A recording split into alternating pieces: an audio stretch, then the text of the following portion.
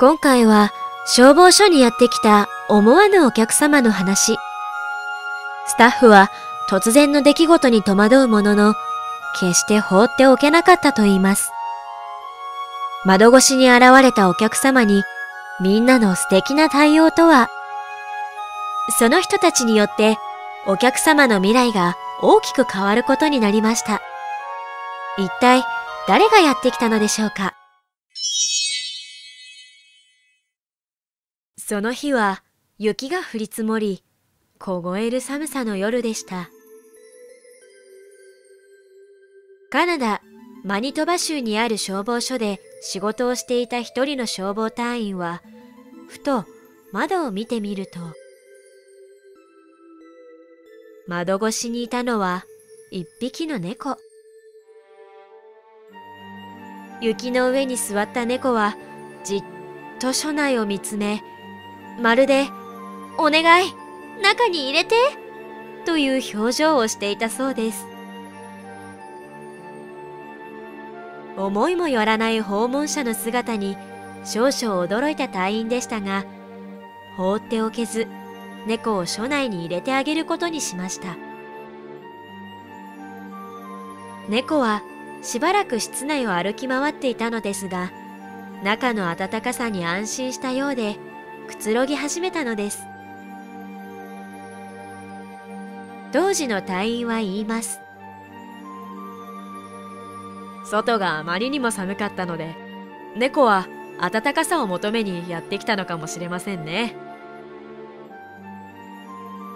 そして、この暖かさに気持ちよくなったのか、すやすや眠り始める猫。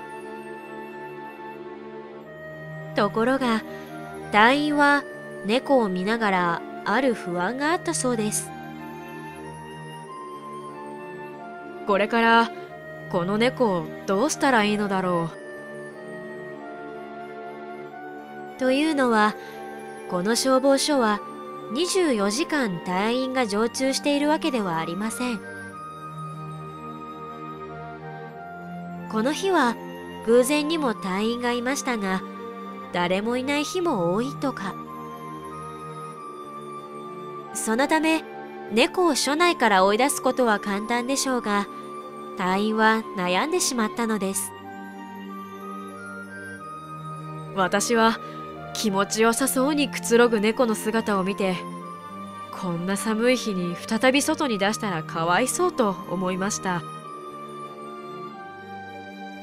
そこで猫を招き入れた隊員は他の隊員と相談をすることに。するとケルビン・トゥーズさんという隊員が飼い主が見つかるまでその猫を預かってくれることになりました。どうやら彼は猫好きでなんと自宅で4匹の猫を飼っているそうです。エンバーと名付けてもらった猫はその日ケルビンさんの家で過ごし翌朝動物病院に行きました獣医によると耳が凍傷を起こしていたそうですが、それ以外に大きな病気もなかったそうです。そのため、エンバーはダニの駆除と予防接種をしてもらい、帰宅。ケルビンさんは、エンバーが迷子の猫ということも考え、Facebook にエンバーの写真を投稿しました。しかし、飼い主と思われる人は現れなかったので、彼は友人に相談し、エンバーを預かってもらうことになったのです。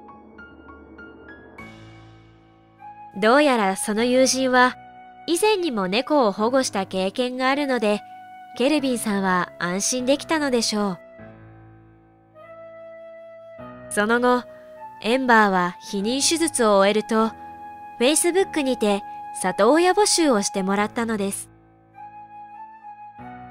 すると、嬉しいことに、すぐに里親が見つかりました。エンバーはもともと野良猫だったのかはわかりませんが、あの日、消防署に助けを求めて正解でしたね。もしもあの日署内に誰もいなかったら凍えるほどの寒さの中あのまま外で過ごしていたのなら命を落としていたかもしれません優しい消防隊員の方がいてくれたおかげでエンバーの新しい人生が始められることになったのです。あんな風に見つめられたら放っておけないでしょう。もしも団員さんがエンバーをほったらかしにしていたらと思うとさまざまな偶然が重なって一匹の猫が助かったのですね。これからエンバーには新しい飼い主と共に幸せな暮らしを送ってほしいですね。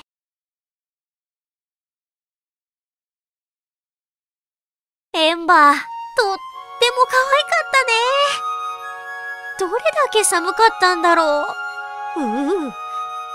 消防士さんの優しさに涙しちゃうよね。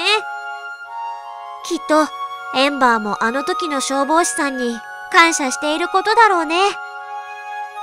新しい家族も見つかって本当によかった。ご視聴いただきありがとうございました。